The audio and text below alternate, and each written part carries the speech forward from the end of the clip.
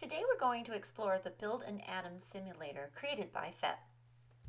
To go to the simulator, click on this link in the notebook.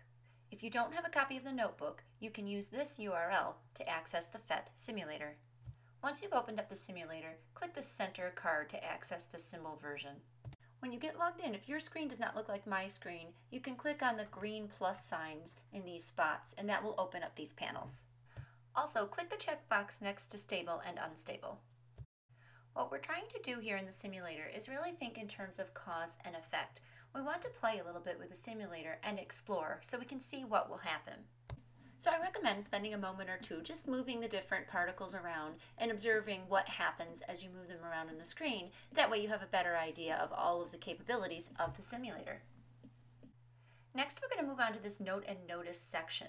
Our objective here is to discover some cause and effect that happens with the simulator. So to note and notice, you can move a particle and you'll see a whole bunch of different things changed on the screen. These are the things that I'd like you to observe. You can write a list of your observations, or if you're using the notebook, you can phrase it this phrase, when I drag a proton, something happens. After you've finished your observations or your note and notices, you can move down to the bottom half of the notebook page for some matching. To do these matching sections, what you need to do is read the first half of the phrase, then take a look at the simulator and do exactly what it's saying. So in this case, when I move a neutron, no element card pops up. That's why it's the match in the notebook.